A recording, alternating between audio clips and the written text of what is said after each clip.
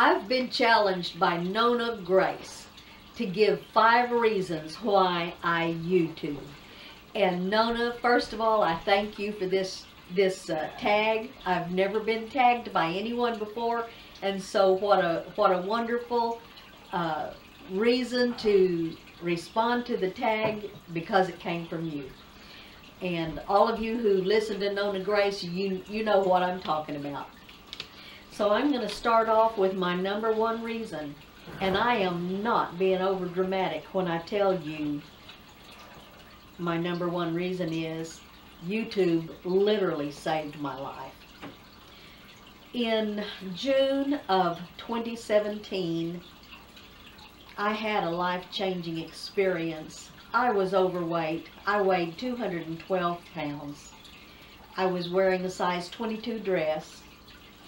And all of my life, ever since I was about 20, I've done the diets. I've done Weight Watchers. I've done Jenny Craig. I've done, you name it, I've done it. And, and I have a bookcase over there that still has probably 20 diet books. And, and I could lose four pounds off of any diet I ever tried. But at four pounds, I would stop.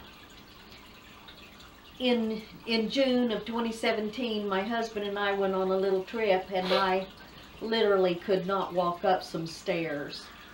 And and of course I'm trying to act like I've got it all together and don't want anybody to see my problem.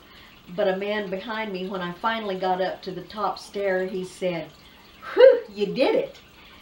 And and I know he was being encouraging but it angered me because I was thinking how dare anybody notice that I'm so out of shape, I can't even climb the stairs.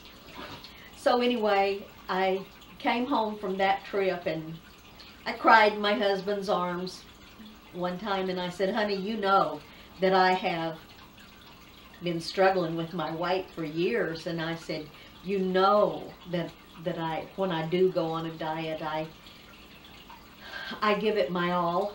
I, I'm not a cheater. And I don't always call it a diet, I call it a lifestyle. I realize that. But I, I truly didn't know what to do anymore.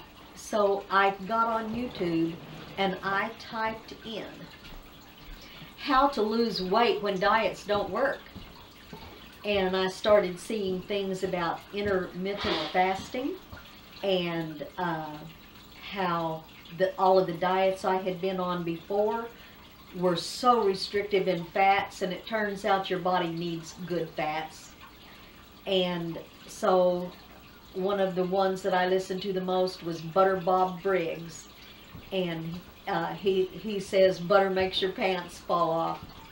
So I started following following Butter Bob Briggs and all lo and behold I started losing weight and uh, about the same time the grandkids came and visited and we were so thrilled to have the grandkids and, and I made pico de gallo and the kids didn't know what tomatillos were and they had never had pico de gallo before and on and on. But uh, so after watching Butter Bob and the grandkids being there and also asking me how I'd lost the weight and different things, it just made me think, well, maybe I need to, now that I'm learning these things, maybe I need to start paying back because freely I received and, and we're supposed to freely give. And uh, I do like cooking and I was watching another lady that I really like. Her name is Phyllis Stokes and she was telling a story about finding a tea cake recipe that her husband had wanted her to find for years and she finally found it. Well, when she said that story, I'm going, well, I have an exact same story. And my third video, in fact, was about my uh, finding my own grandmother's tea cake recipe that I had looked for for 30 years. But, so all these things just came together at once and I thought, well, if Phyllis Stokes can just tell stories and do recipes, so can I. And so I did my first one and, and I was so nervous that if a if a body language expert was watching me, they could tear me up. But anyway, so I I did it and and I got some good re replies from my family and that was what was important to me. Number two reason is knowledge. Bruce and I are not technically skilled in anything, but we're kind of jack of all trades. And Bruce has learned how to, how to take the car struts off and replace them. He's learned how to take the electric windows apart and replace a motor when they stopped working. He's learned plumbing. He's just daily, he's honing his skills in general maintenance. And I'm daily honing my skills in the things that I like. Uh, my interests run in cooking, gardening, homesteading, raising animals, any of the home homemaking arts I, I like.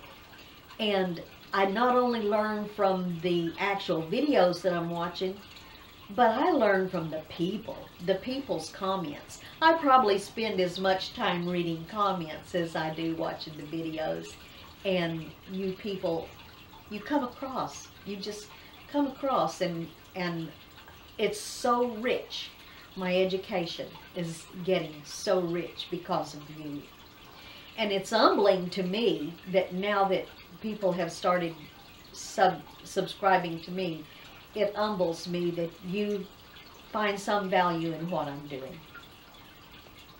Not, and some of these things overlap. Number three would be friendship. Bruce and I uh, do live out in the country. We're a little away from our actual physical friends, and we are a long way away from our actual physical family. But because of the interaction and the networking that we have been able to establish through YouTube, it fills in the gaps. And so we're so grateful for that. Number four is sharing. You share and share and share. Not only do you share your knowledge, but you also share your personal stories. And, and I find that very inspiring. And that is important because so many times we sit here and we think, gosh, I wonder if anybody else has ever felt like this. Or am I the only one who, whatever. And so when you share your feelings and your emotions and and those kind of things, it, it just cements that understanding that people do have the same struggles and when we pull together, we can help each other overcome those struggles. And that's very important is overcoming. And number five is inspiration. Because of the sharing and the friendship and the knowledge, we get inspired. Just like Phyllis Stokes, even though she doesn't know me, she inspired me to start making videos. So that's my five reasons. Number one, it saved my life. Number two, knowledge. Number three, friendship. Number four, sharing. And number five, inspiration.